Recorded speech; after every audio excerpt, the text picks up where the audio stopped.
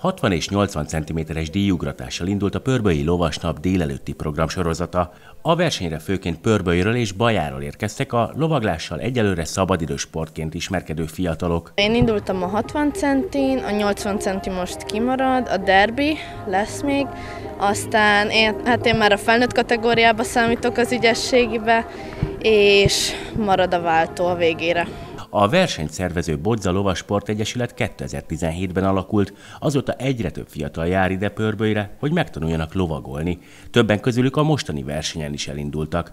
Hál' Isten fejlődik az Egyesületünk, egyre nagyobb a taglétszámunk. Idén most itt a versenyen 12 tanítványon fog szerepelni különböző korcsoportokban. Három lóval készülünk ide a versenyre. A Pörbői Lovasnap programja délután mini, gyermek, ifjúság és felnőtt ügyességi, valamint váltóversenyszámokkal ért véget.